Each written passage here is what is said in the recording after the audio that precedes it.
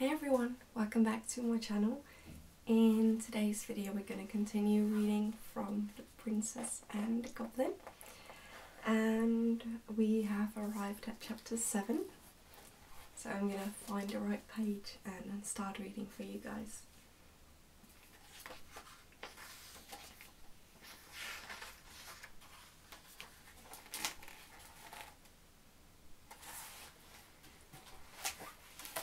Chapter 7 The Mines Curdie went home whistling. He resolved to say nothing about the princess for fear of getting the nurse into trouble, for while he enjoyed teasing her because of her absurdity, he was careful not to do her any harm. He saw no more of the goblins and was soon fast asleep in his bed. He woke in the middle of the night and thought he heard curious noises outside. He sat up and listened, then got up and, opening the door very quietly, went out. When he peeped round the corner, he saw under his own window a group of stumpy creatures, whom he at once recognized by their shape. Hardly, however, he had begun his one, two, three, when they broke asunder, scurried away, and were out of sight. He returned laughing, got into bed again, and was fast asleep in a moment. Reflecting a little over the matter in the morning, he came to the conclusion that, as nothing of the kind had ever happened before, they must be annoyed with him for interfering to protect the princess. By the time he was dressed, however, he was thinking of something quite different, for he did not value the enmity of the goblins in the least.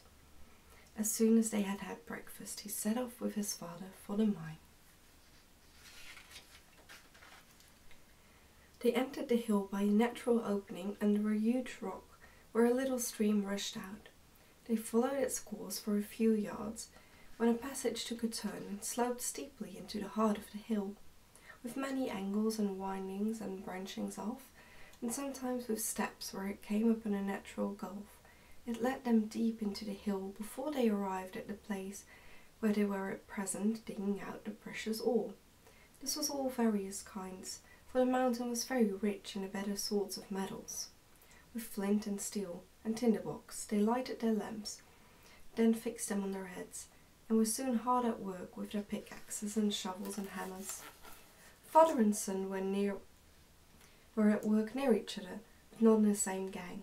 The passages out of which the ore was dug were called gangs, for when the load, or vein, or ore was small, one miner would have to dig away alone in a passage no bigger than gave him just room to work, sometimes in uncomfortable, cramped positions. They stopped for a moment, they could hear everywhere around them, some nearer, some farther off, the sounds of their companions burrowing away in all directions in the inside of the great mountain. Some boring holes in the rock in order to blow it up with gunpowder, others shoveling the broken ore into baskets to be carried to the mouth of the mine, others hitting away with their pickaxes. Sometimes, if the miners was in a very lonely part, would hear only tap tapping, no louder than that of a woodpecker, for the sound would come from a great distance off, through the solid mountain rock. The work was hard at best, for it is very warm on the ground, but it was not particularly unpleasant, and some of the miners, when they wanted to earn a little more money for a particular purpose, would stay behind the rest and work all night. But you could not tell night from day down there, except from feeling tired and sleepy, for no light of the sun ever came into those gloomy regions. Some who had thus remained behind during the night, although certain there were none of their companions at work, would declare the next morning that they heard, every time they halted for a moment to take breath, a tap tapping all about them, as if the mountain were then more full of miners than it was ever during the day, and some in consequence would never stay overnight, all knew those were the sounds of the goblins. They worked only at night, for the miners' night was the goblins' day. Indeed, the greater number of miners were afraid of the goblins, for there were strange stories well known amongst them of the treatment some had received whom the goblins had surprised at their work during the night. The more courageous of them, however, amongst them, Peter Peterson and Curdie, who in this took after his father, had stayed in a mine all night again and again, and although they had several times encountered a few stray goblins, had never yet failed in driving them away. As I have indicated already, the chief defence against them was furs, for they hated furs of every kind, and some kinds they could not endure at all. I suspect they could not make any themselves, and that was why they disliked it so much.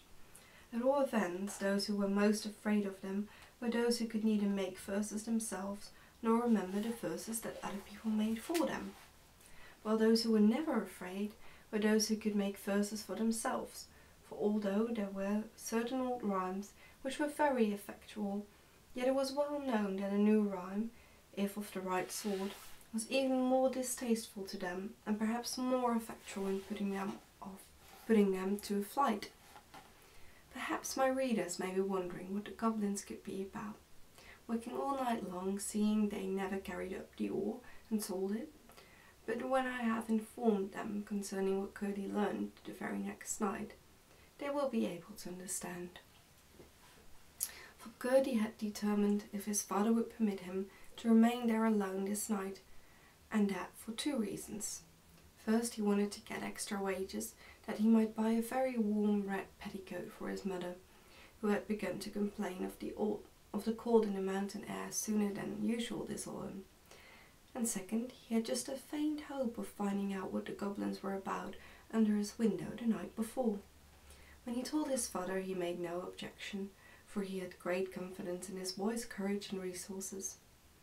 I'm sorry I can't stay with you, said Peter, but I want to go and pay the parson a visit this evening.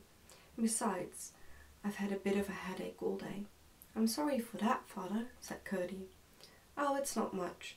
You'll be sure to take care of yourself, won't you? Yes, father, I will. I'll keep a sharp lookout, I promise you. Curdie was the only one who remained in the mine. At six o'clock the rest went away, everyone bidding him good night and telling him to take care of himself, for he was a great favourite with them all. Don't forget your rhymes, said one. No, no, answered Curdie. It's no matter if he does, said another, for he'll have only to make a new one.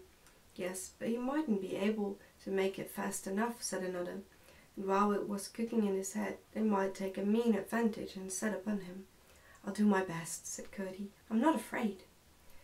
We all know that. They returned and left him.